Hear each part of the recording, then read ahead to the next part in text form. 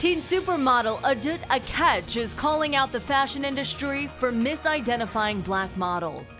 Australia's Who magazine used a photo of another model in a recent interview. Akech says what makes this mix up even worse is that her interview focused on people's attitude to people of color in general.